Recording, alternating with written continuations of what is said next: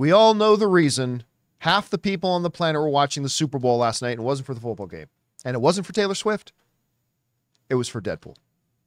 And I was actually pretty surprised how early in the broadcast that first screen came up. It's like, oh my God, they're dropping the Deadpool trailer right now.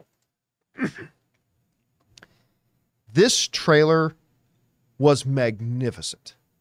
I absolutely loved it because remember, this is just the first trailer, just the first one. Teaser. Teaser, really. I mean, longer than your general teaser, but this is just the first one, right? Remember, we were just talking about this for the uh, Kingdom of the Planet of the Apes. Like the first one was just give you a sense of the tone, give you a sense of what the look is going to be like. And then the second trailer, that's where you get your meat. So this was just the first trailer. and I thought there was good, there was a couple of things they had to establish in this first trailer.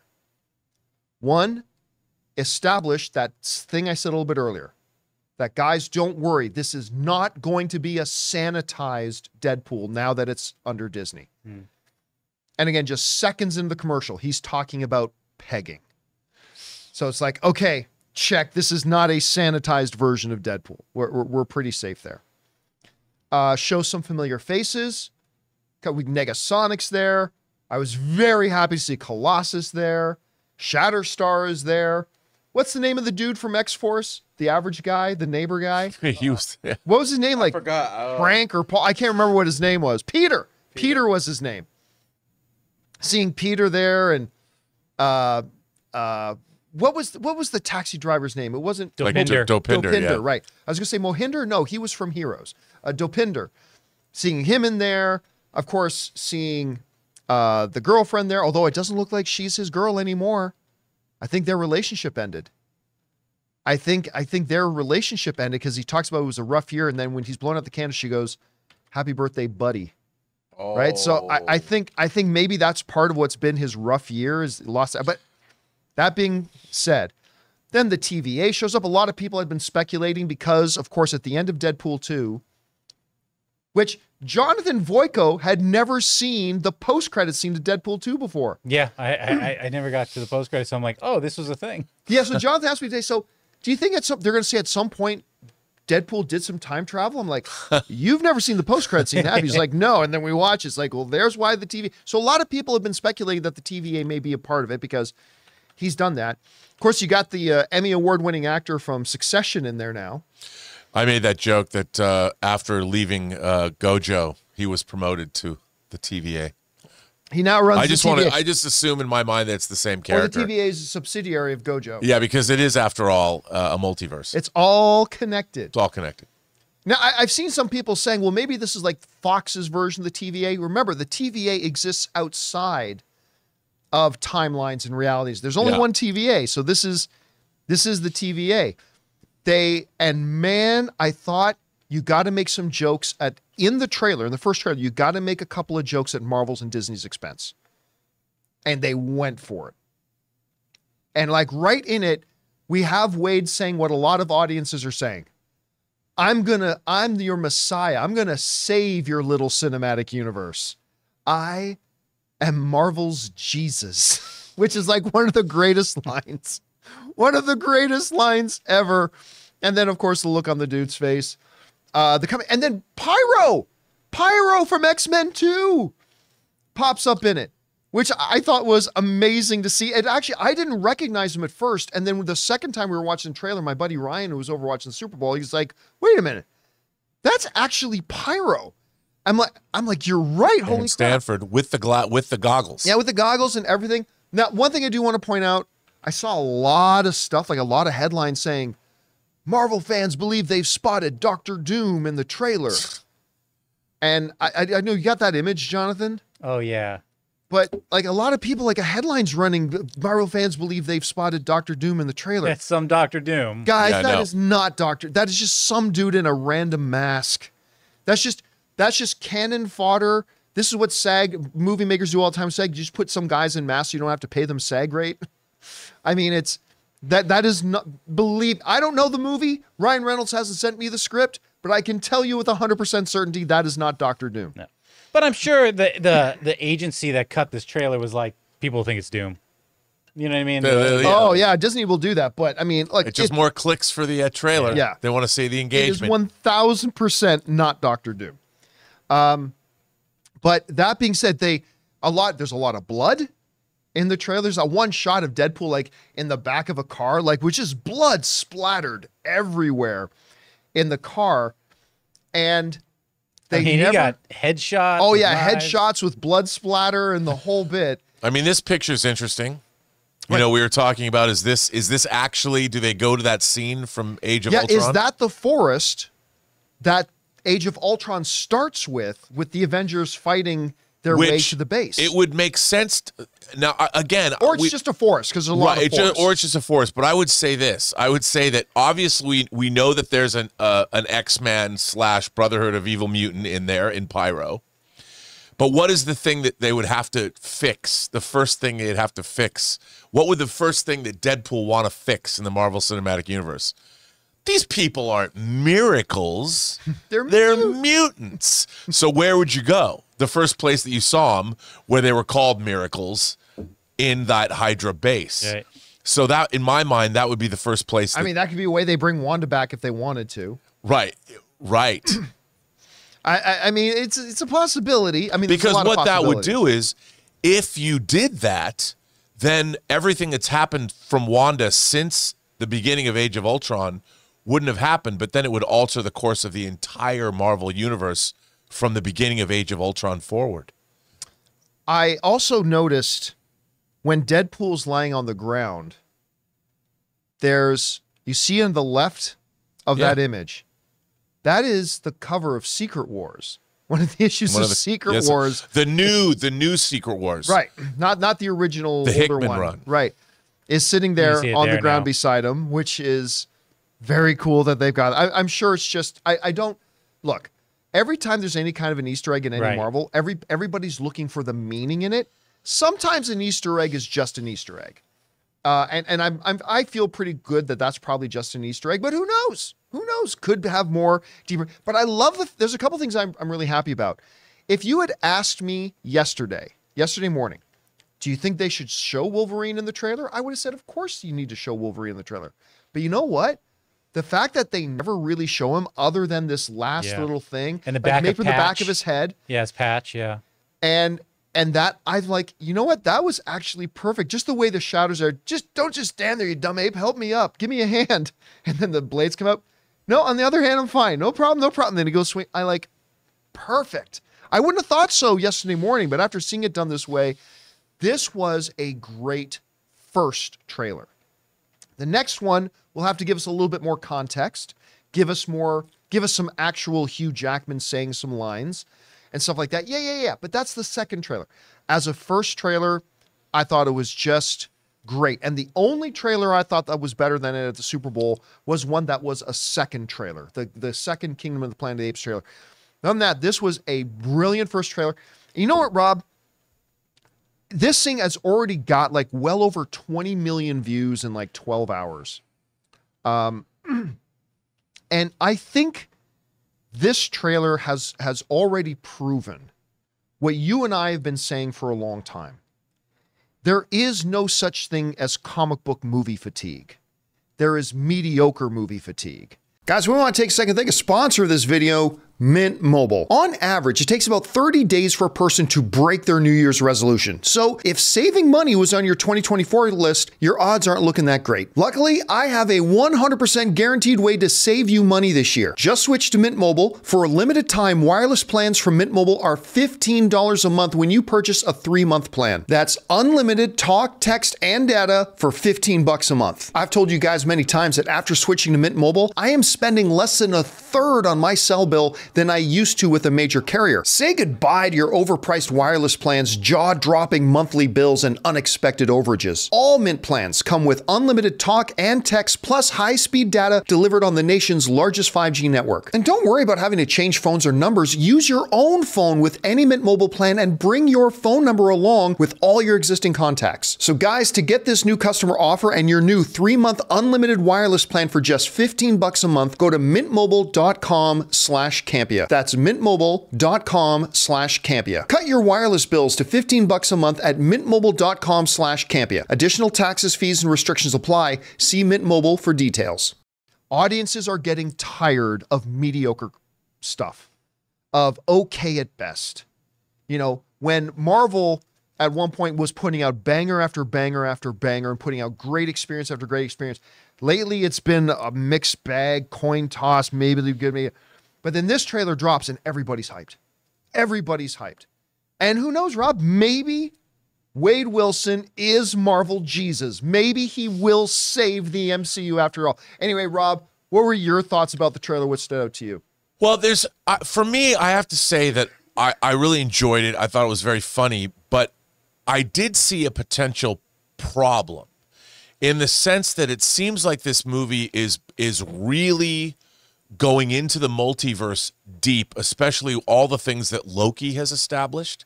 You know, the end of time, we're outside, the he who remains, the castle, the that that land there. The void. The void. And and the thing is, if the void is this like the new are they insinuating it's the new it's battle world from this the Hickman run of Secret Wars where everyone's gonna wind up? And and because it looked like the scene with Pyro, it looks like a post-apocalyptic wasteland. Because what's interesting is everybody can get dumped there. Every time that a timeline is trimmed or, or pruned or whatever, you could dump potentially every single character in the world or in the universe, the multiverse could wind up here. And that's interesting, but is that too reliant on the on the the TV shows? Because one of the things that the Deadpool movies have always the two Deadpool movies have always done is that regardless of the s- superhero shenanigans, they've actually told a, its own story that exists outside of all of the superhero shenanigans. like Including the Fox superhero universe. uh, absolutely, uh, absolutely. And so the thing about the Deadpool universe, I, like I was so impressed. I love the first Deadpool, I but it also told a legitimately great story about a guy. In a way, it's like Iron Man one, in that for all the shenanigans and all the references and all the fourth wall breaking and all the, it was kind of this romantic story about a man who was wronged, who was seeking revenge and wanted to be together with the woman he loved. So and that's the only thing that I worry about is that this movie might lean. And I, I have no evidence to support this idea other than this trailer seemed a lot. It, it, it didn't give us a sense. However, what I am hoping is this entire movie could be one big meta commentary on the state of the world and the actual merger between Fox and Disney and what does that mean to the larger world, our world? And hmm. the whole thing could be just the most vicious send up of corporate mergers and they seem to be I hope that they're going to really play with this idea because that's what it seemed like to me. And I'm like, this could be one of the most scathing indictments of the American corporatization of all of our beautiful businesses ever. And I think that's that's where they're going. And if that's where it's going to go, this could be one of the most anarchic and anarchistic, uh, subversive films we've seen in a long time. And I'm so there for that. Uh, one of the things that I was a little bit afraid of going into Deadpool 3, I, have been saying this for a while, is does it go too meta? Does it go too uh, multiverse? Does it go too much of stuff like that? And and, and that is a worry that I still have. And, I, and, and I'm not going to feel better about it until I see the movie itself. But I will say this one of the mistakes Marvel has been making over the last couple of years is that reliance on you got to have watched our Disney Plus show in order to be able to watch this. But you know what? I watched this trailer and I was like, here's what was brilliant about it. If somebody was watching this trailer that had never seen Loki, never heard of the TVA, none of that kind of stuff, right? It didn't matter. Uh, somebody just watching this trailer got it. Oh, this is some kind of interdimensional police, and they're recruiting Wade Because Deadpool to- doesn't know. Yeah, 'cause so Deadpool we're doesn't know. Deadpool. That's right. It was told kind of from Deadpool's perspective. Like you didn't have to you didn't have to watch a single minute of Loki to go, okay, this is some kind of interdimensional police force, and they're recruiting Wade to save the universe or and putting like Macfadyen in there. Easy. Yes. Brilliant, and the way So the way he the way his performance just in a few. I've loved him since he was in Mi Mi uh, five, the TV series, and he's great way before Succession. But the fact that they cast him in that role, I thought was genius. Yeah, that I was a genius. It was move. great because you're filling the shoes in a way of Owen Wilson's Yes. Mobius character, who is so likable. So you got to have another agent, and instant like love him. People are going to recognize him from Succession, and even if you never watched Loki, this didn't lose you. You knew it. By the way, I also want to throw this out there too. I'm seeing a lot of people saying, "Oh my God, the villain is going to be Professor X's sister." Cassandra Nova from Look. New X Men. That may, it's possible that that could be Cassandra. All it was was a bald head. Right. And everybody knows there could only be two possible people that are Could be. Moondragon. It could be Lex Luthor for all we know. I mean, so yes, it, it's theoretically possible it could be Nova, Cassandra Nova. But all I just want to caution my fellow all it was was the back of a bald head. It literally could be a brand new character. It could be anybody. There are not only two, a bald head does not only equal two possibilities. Although I will saying. say, when she was introduced in, I want to say Grant Morrison's new X Men run, um, you know, they brought the idea that Xavier had a twin, an in, in utero twin that we didn't know about. I love that idea because I remember reading that comic. She was a very formidable bad person. Yes. And uh, I would love to see that brought in, but it would require, it's the kind of thing that, like the comics itself, it's not like some established villain when it showed up that, um, or the ancient one. There you go. I, That- that's which, where my mind went to. Which, by the way, Angel and and Ritwick in the live chat is saying Obadiah Stane. yeah. Oh, it seemed like a woman. yeah, though. yeah, a lot of yeah. But if it is, if it is the ancient one, I mean, that would certainly class up the joint, and it would make sense because she's already talked about the Infinity Stones and all. Yeah. Obviously. I mean, I, I I would love to see. You know, if, if they have Michael Pena in this movie and have him explain the MCU to Wade, like, let me tell you where things are. Okay, so this guy Thanos. He's a TVA agent now. I, I honestly listen. Every fan, every fan thinks they know best, right. Right. About this is what the MCU should have. We're all like that. We're all stupid that way. Like we all do that. My I'm the fan, so I know best thing has always been how are you not leveraging Michael Pena more in this? Luis is one of the great characters, and he can be a very meta character because of the way he does that. Like, I don't know how you don't start off every MCU movie with, okay, let me catch you up to speed. And like just Michael Pena He might have had other external So reasons, you know, but you know, there's the channel Emergency Awesome. I always watch that channel to get my more up to date Marvel gossip, but um, and that seems pretty accurate for the most part. That's why I tell sometimes stay away. But I have to say that this does look like they've given him carte blanche to come up with everything that he wants. And I will say this: of all the people that are running this, between Hugh Jackman, um, Ryan Reynolds, our patron saint, and of course Shawn Levy Yeah. the fact that they can just sit there and make shit up and make it happen. And I- the same writers who did the Deadpool movies. with yeah, I just Reynolds. hope they keep it all together because the potential. This trailer did tell me the potential for it to spin off into crazy oblivion. They've got to have some kind because the Deadpool, both Deadpool movies had an emotional grounding to them. Mm-hmm. But I'm convinced more than ever we're going to get a musical number.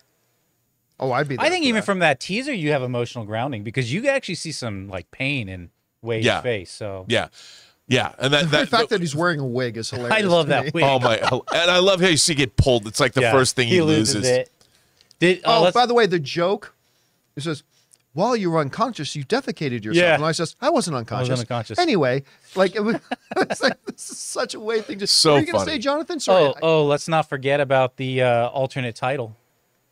Oh, yeah. So, okay, here's the most exciting thing about this to me.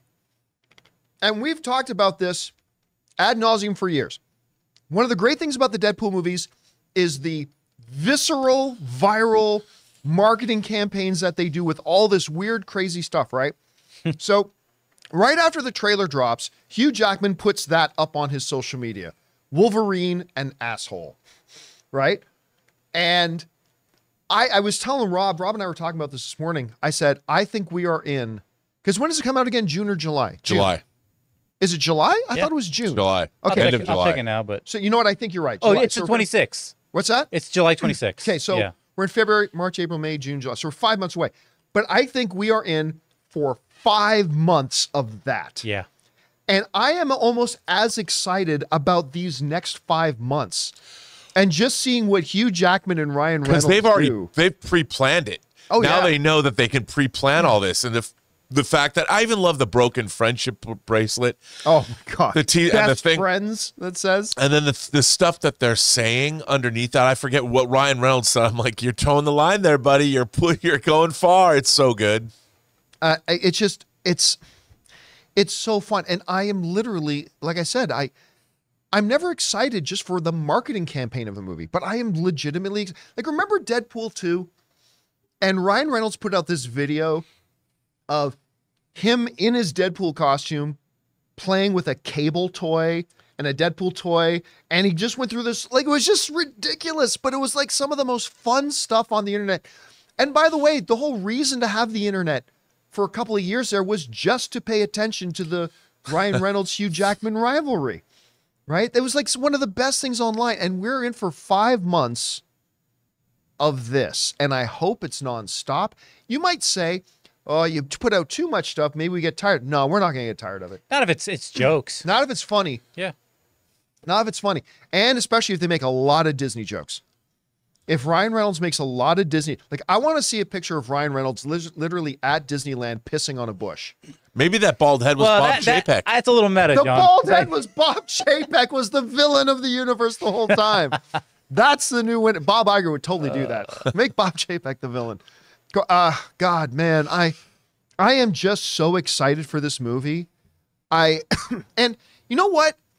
If you had asked me a week ago, I would have said they're gonna. The movie's gonna be great. I think it's gonna be really fun and funny. I mean, it's the same writers. It's Ryan Reynolds. The movie, the movies Ryan has made with Shawn Levy have been great. Whether it's Free Guy, which is awesome, or Adam Project, which was surprisingly good to me. Not as good as Free Guy, but but really good nonetheless. I would said the movie's gonna be great, but I don't think it's actually gonna change anything in the MCU other than bringing Deadpool in. Well, that's what I would have said a week ago. I'm actually wondering if they do change some things in the uh, if they kind of reset the universe. And of course, Ryan did a little bit of a a little bit of a Black Adam kind of joke, but he didn't say the hierarchy is about to change. But he, what was the line he said specifically? Said "Uh, I'm about to change everything in your little cinematic universe or something like that. He Yeah. didn't say the hierarchy of power is about to change. See, a week ago I would have thought okay, but nothing of substance will change. Like he saves Wanda and saves Quicksilver, and now they are in the MCU. But now I'm not so sure about that. They might actually substantively change something in this universe. Mutants. Mutants, I mean, mutants. Listen, this is we actually have the name of a mutant in the title for the first time. Well, I guess when they established that Miss Marvel is actually a mutant, maybe they did that already. But now we got Wolverine in the title. There he is. I oh oh big question. Do you think that was Madripoor?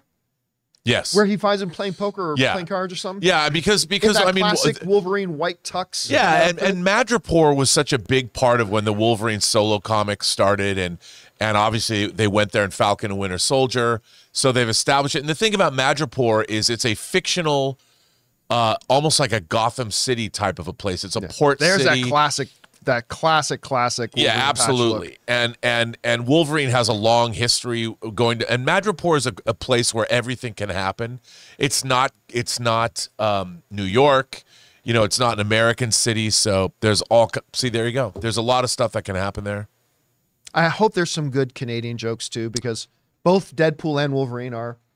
Uh, lo- I'd love good to see Canadian the Ten kids. Rings come back. Do back. you think we get like a very subtle, under the breath Wrexham reference?